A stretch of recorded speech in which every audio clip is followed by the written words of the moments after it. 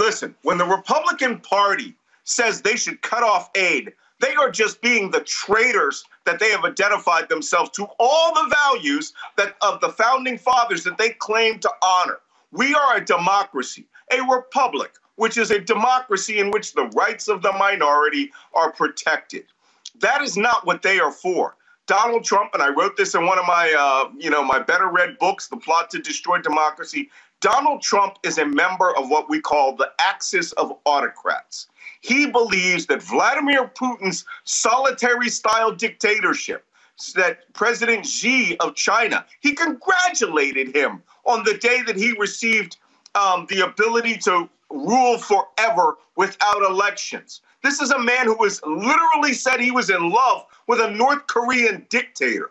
For African Americans, if you think you would have it bad now, or you had it bad over the last six years, because let me tell you, we're in the best economy since uh, Bill Clinton and Barack Obama's economy. If you think it was bad under Trump, imagine everything bad that happened to you being law. This is the party that you're up against now. They want to overturn all of America's alliances since World War II. That would literally betray the very reason that we landed at Normandy, would be to install a totalitarian dictatorship and run a nation based on white supremacy.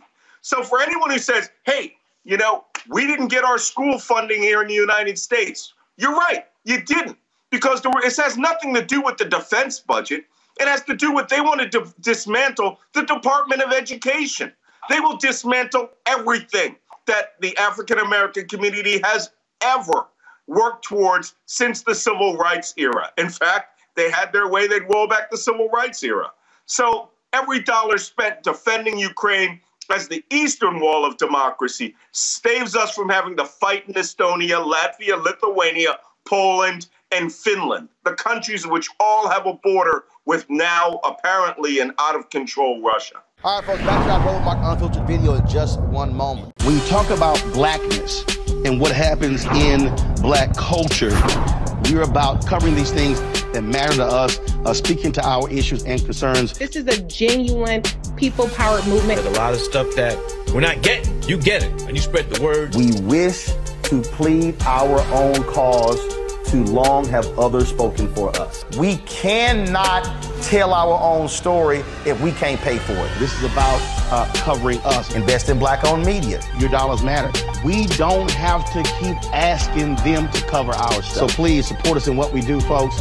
We want to hit 2,000 people, $50 this month, raise $100,000. We're behind 100,000, so we want to hit that. Y'all money makes this possible. Checks and money orders go to PO Box 57196, Washington, D.C. 20037-0196. The Cash App is dollar sign RM Unfiltered. PayPal is R Martin Unfiltered. Venmo is RM Unfiltered. Zelle is Roland at RolandSMartin.com.